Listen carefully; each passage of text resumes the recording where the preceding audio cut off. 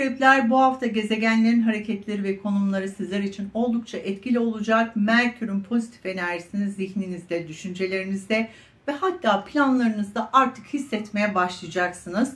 Aynı zamanda aile içi böyle bir anlaşmazlık bu hafta görülebilir. Ancak zekanızla çok kolaylıkla çözebileceksiniz. Bu hafta çabalarınızı boşa çıkarmamanız ve çalışmaya devam etmeniz gerekiyor.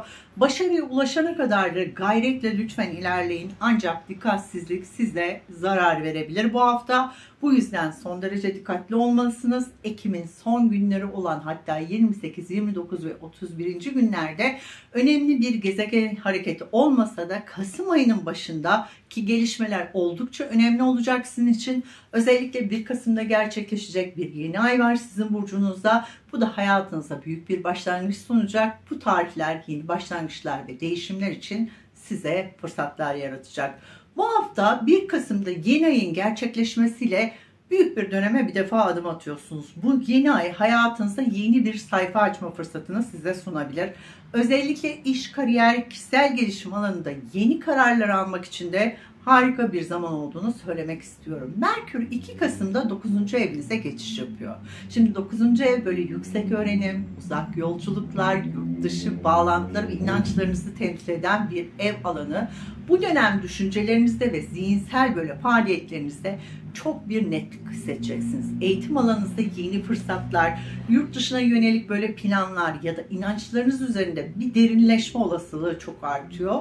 Merkür'ün bu pozitif etkisiyle hayatınızdaki sorunlara böyle son derece mantıklı, son derece pratik, pratik çözümler bulabileceksiniz. Bu hafta Venüs ikinci evinizde konumlanmış durumda ve bu ev maddi kaynakları, aşkı ve ilişkileri de yönetir aynı zamanda. Bu durum aşk hayatınızda ve maddi kazançlarınızda olumlu gelişmelere işaret ediyor sevgili akrepler. Venüs aynı zamanda huzur ve zevkle de ilgili olan bir gezegen. İşte bu hafta aşk hayatınızda ve iş ortaklıklarınızda da daha huzurlu ve tatmin edici anlar yaşayabilirsiniz.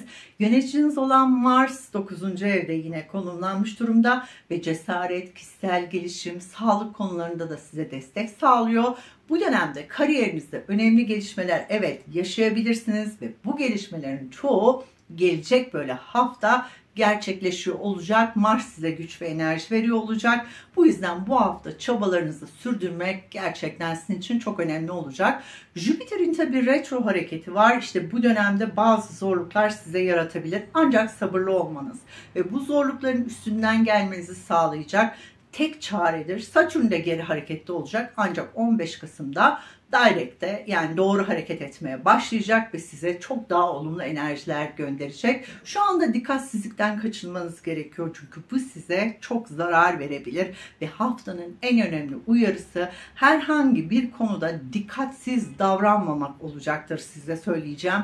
Özellikle finansal konularda ve ilişkilerde son derece titiz olmanız gereken bir haftadan bahsediyorum kendinizi böyle yetersiz hissettiğinizde meditasyon ve dua ile desteklemek gerçekten size çok iyi gelecektir. Ben kendi yaptıklarımı söylüyorum. Şems suresini şu son günlerde 5 kez okuyorum günde ve size de bunun manevi güç vereceğini söylüyorum.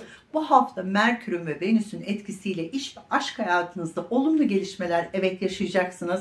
Sağlığınıza dikkat edin, ilişkilerinizde adaletli olmaya gayret edin ve her türlü kararda olgunlukla lütfen almaya çalışın. Tekrar bir başka videoda görüşmek dileğiyle.